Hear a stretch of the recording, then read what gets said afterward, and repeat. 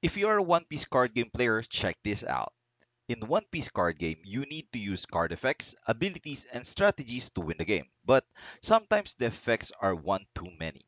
The board sometimes gets confusing, and we even forget if we've used certain abilities already. Good thing the guys from EXP Share Collectible sent me these tokens that can be used to track the player's turn, damage addition and reduction,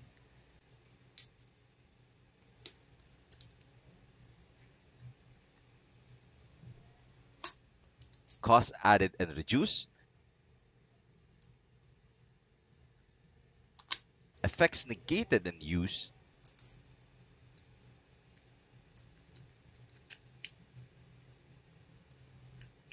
and even if your character is frozen or immune, which is my favorite by the way. They also come in this very handy premium filling pouch so you can easily bring them everywhere.